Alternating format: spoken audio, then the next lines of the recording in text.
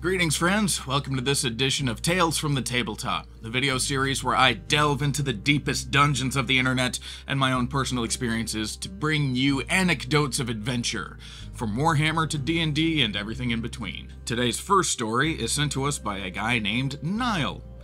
Niall writes, It was my very first ever campaign with what had developed into my group of friends. I was playing a warlock. We also had a rogue, a fighter, and a barbarian. Over time, we all grew in power and had some cool custom stuff. About halfway through the campaign, my moderately powerful warlock and the rogue accidentally animated a snowman. We made Olaf. The campaign continued for some time and we continued to grow in power. During what would become the final session, we worked our way through a mental hospital, fighting the inmates and the staff we finally get to the heart of the hospital and find a skeleton wearing a golden crown. Um, fun fact uh, uh, they're called patients in a mental hospital, not inmates. Like inmates in a mental hospital, that's like that's like bedlam. That's that's uh, that's their patients now. Our greedy rogue ran up to try and steal the crown. Once she got a hold of the crown, the skeleton started to animate. I panicked and threw a meteor storm down on the skeleton's head. Of course, it caught the rogue and the forward members of the party. The members were injured, but the rogue was killed outright, and the skeleton was almost dead. But the real devastating thing, the absolute horrible blow, was when we realized we had gotten Olaf in the meteor storm, melting him to a puddle. I was legitimately upset about his death, mourning and singing dirges at the table until someone pointed out that I was more upset about the death of this snowman than the real player playing the rogue sitting across from me. We all had a good laugh about that, except for the rogue. The group broke up shortly after that, and we were never able to get Olaf back. So just as a brief aside, does anybody else find Olaf to be a horrifying character? Like uh, a snowman uh, brought to life whose very first wish and desire is to walk into a fire. Uh, Olaf is a creature who was born wanting to die.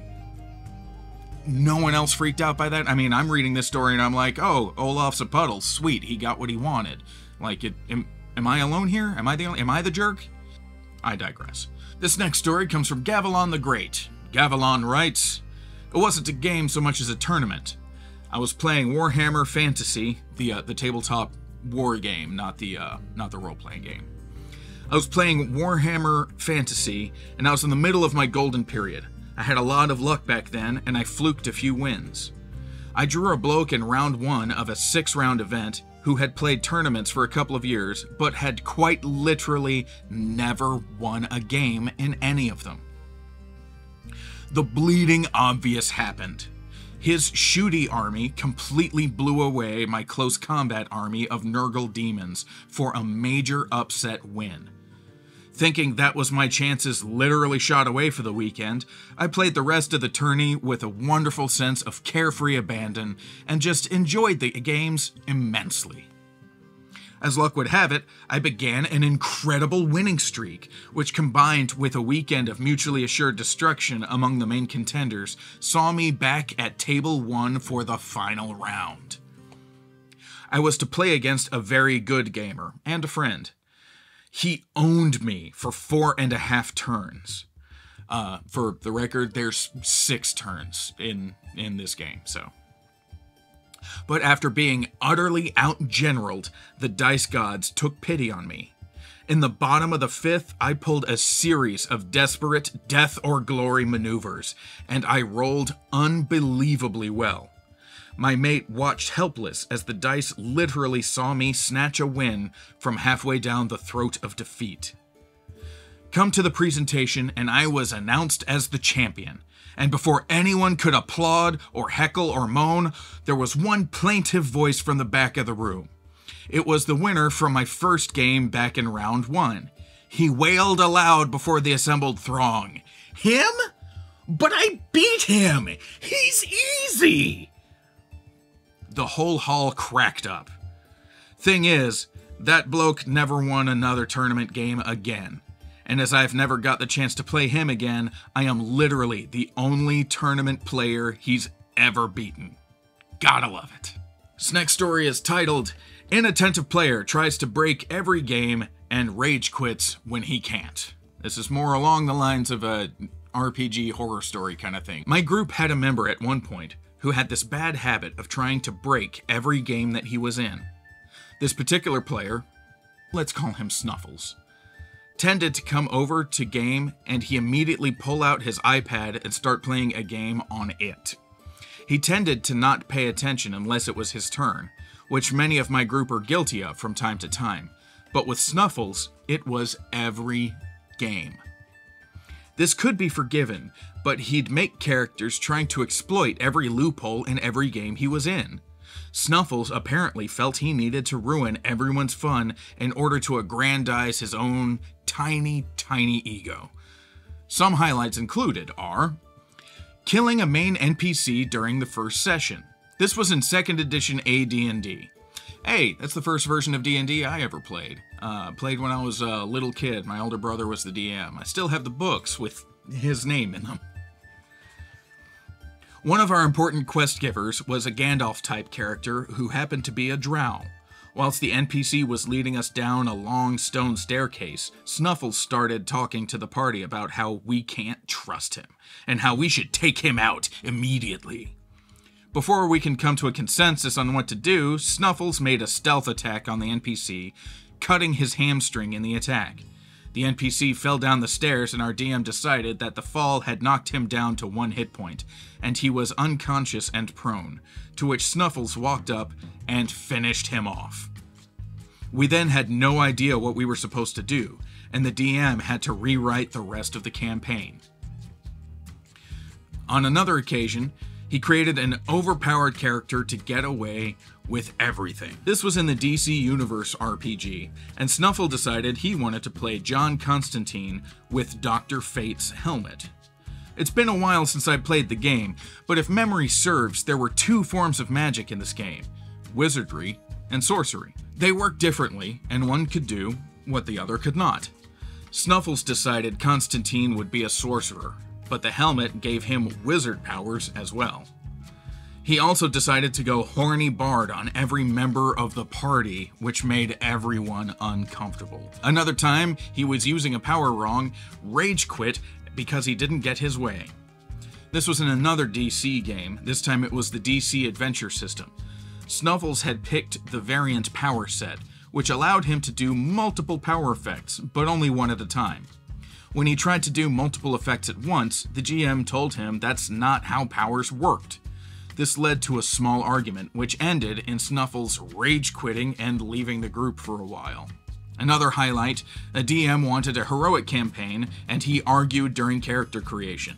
This DM was running a different group, and Snuffles was part of it.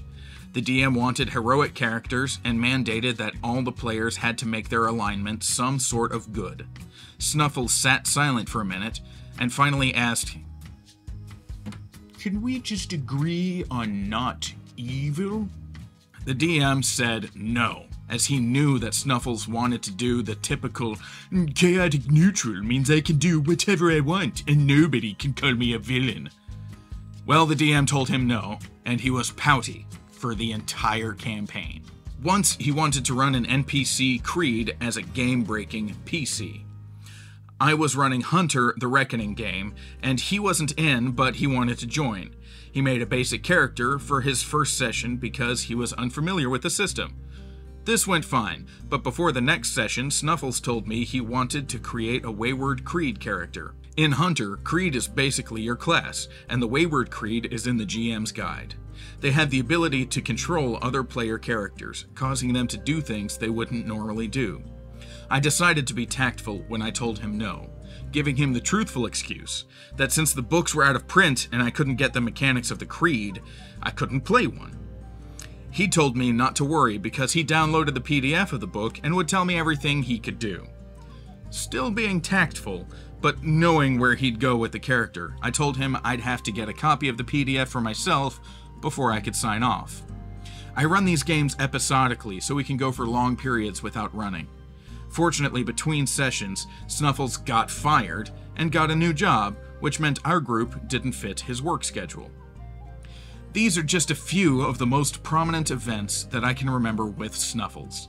He did more, but I can't remember all of them.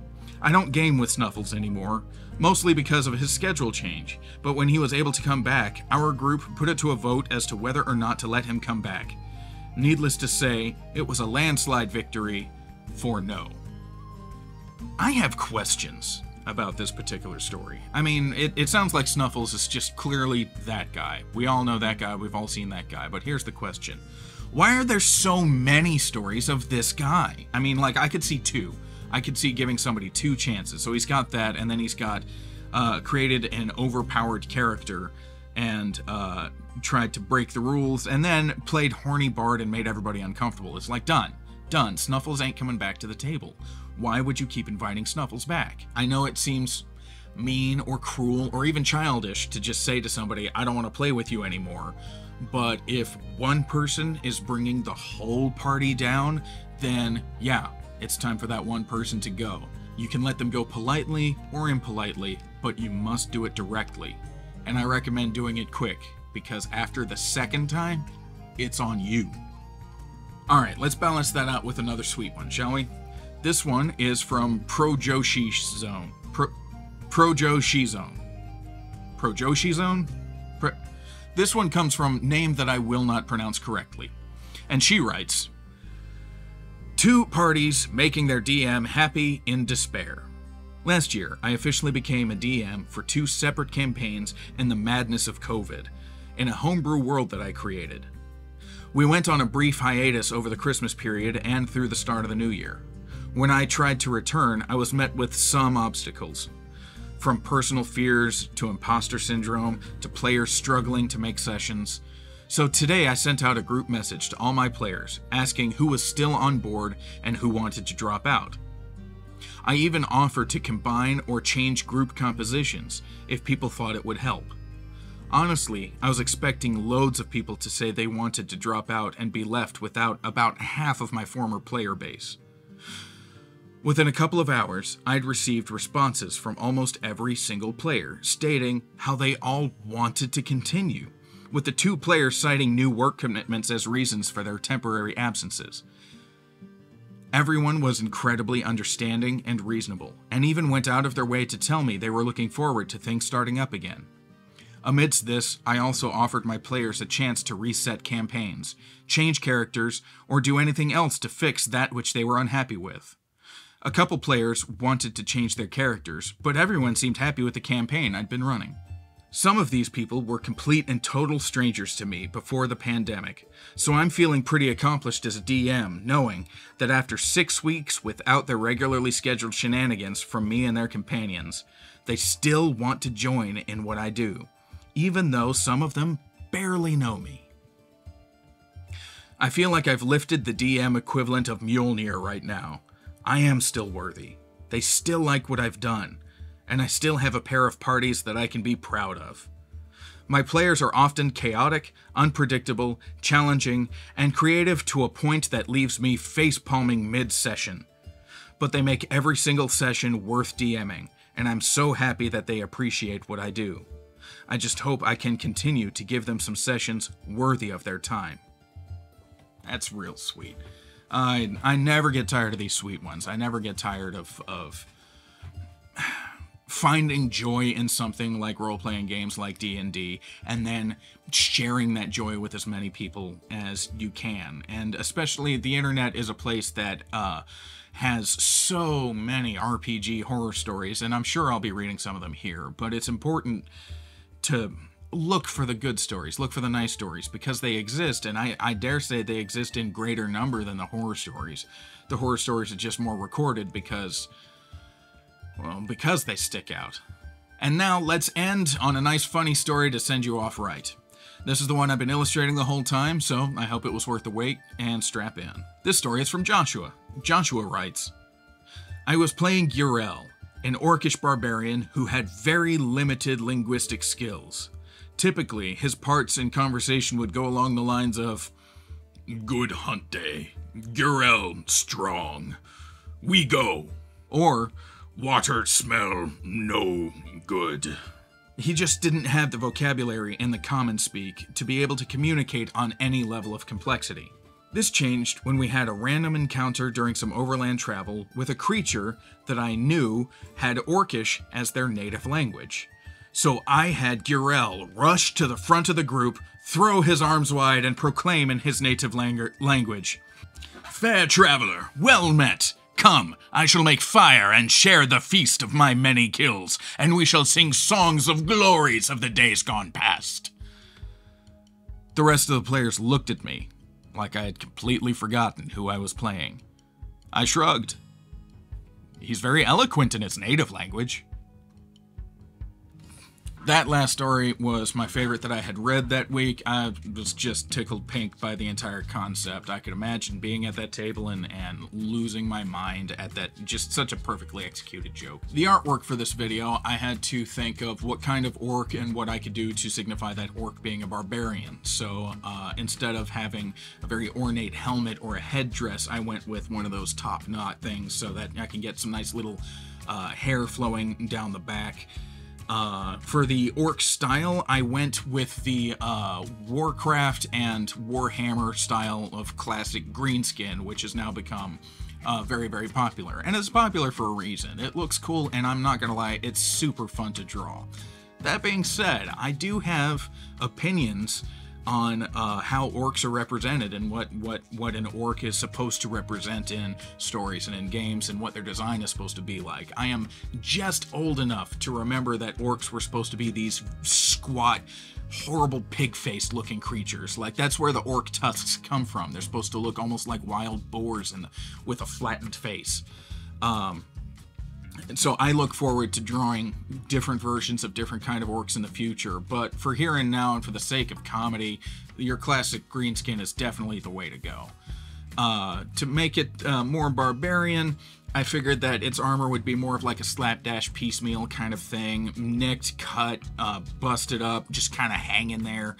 And uh, with, uh, uh, I, I would imagine that the orcs would paint their armor because you know the Warhammer orcs think that if you uh, if you paint in certain colors, it gives you certain powers. So uh, for the first time ever, I tried making distressed paint effect using marker, and here's the effect. And I think I think it's all right. I'm I'm fairly proud with what I did, and I'm, I'm definitely going to try that again in the near future.